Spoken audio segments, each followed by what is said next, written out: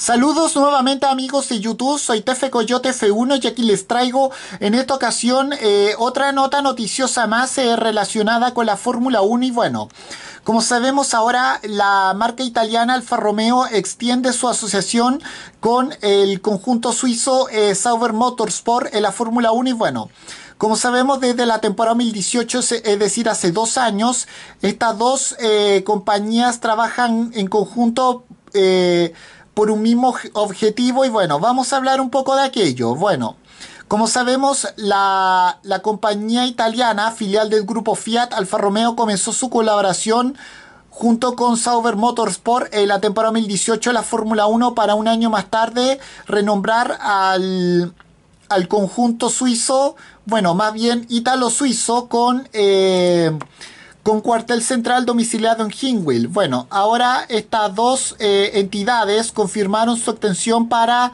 la siguiente temporada, un 2021 en los que los dirigidos por eh, Fred Vasseur eh, van a volver a competir bajo el nombre Alfa Romeo Racing. Bueno, mientras que todos en el paddock estaban hablando acerca de la posible alineación de Alfa Romeo para 2021. Yo creo que Kimi Raikkonen eh, se retiraría de manera definitiva a la Fórmula 1 para el año siguiente y no sé qué va a pasar con Antonio Giovinazzi. Nadie se había parado a pensar que a finales del actual año finalizaba dicha colaboración, aunque ahora a pocos meses de arrancar eh, la siguiente temporada Alfa Romeo ya confirmó que su nombre va a seguir eh, teniendo presencia en la parrilla de equipo del año siguiente. Bueno. Bueno, el CEO de eh, FCA, o sea, Fiat Chrysler Automobiles, Mike Manley, eh, se mostró encantado de que esta colaboración siga adelante y esto fue lo que dijo. Las carreras y el rendimiento son el núcleo del ADN de Alfa Romeo. La marca nació prácticamente en una pista de carreras y continuamos compitiendo al nivel más avanzado tecnológicamente del automovilismo. La asociación con Sauber permite a nuestros clientes beneficiarse de un conocimiento exclusivo en carrera que incorpora la información técnica de Sauber Engineering especialmente en lo que se refiere a aerodinámica avanzada.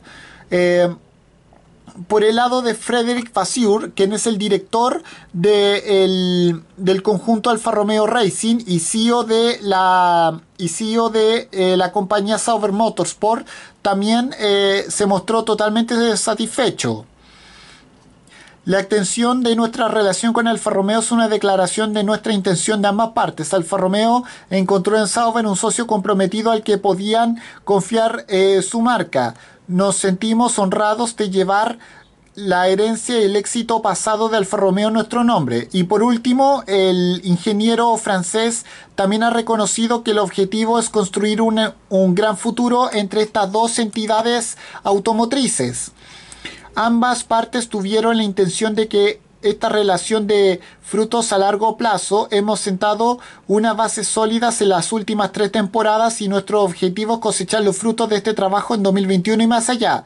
Bueno, y espero que en los próximos días se decida eh, cuáles van a ser los pilotos que van a estar en el equipo Alfa Romeo para el próximo año.